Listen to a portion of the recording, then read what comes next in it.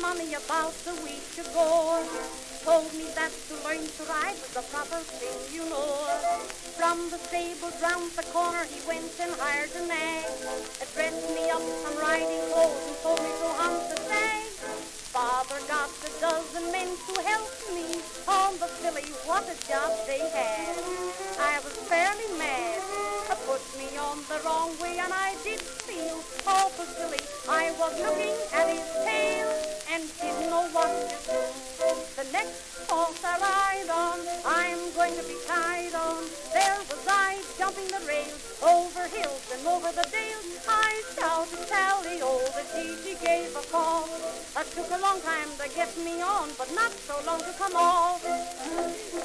Whoa! I went dashing through the village and bumped the cart of.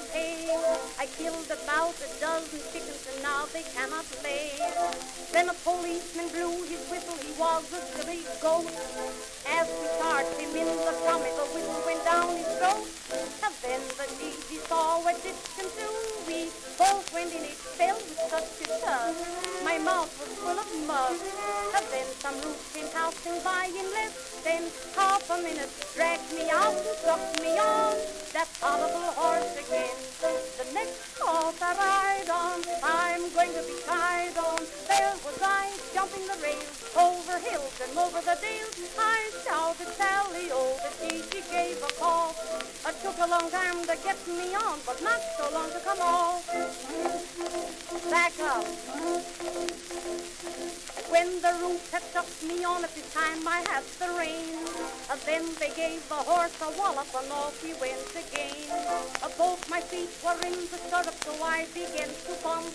The more I tried to bump the saddle, the higher he tried to jump.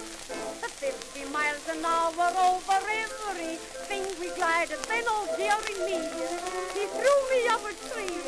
He took his hook and left me there, and I Where he's gone to, I don't know, but I've got to walk it home. The next horse I ride on, I'm going to be tied on.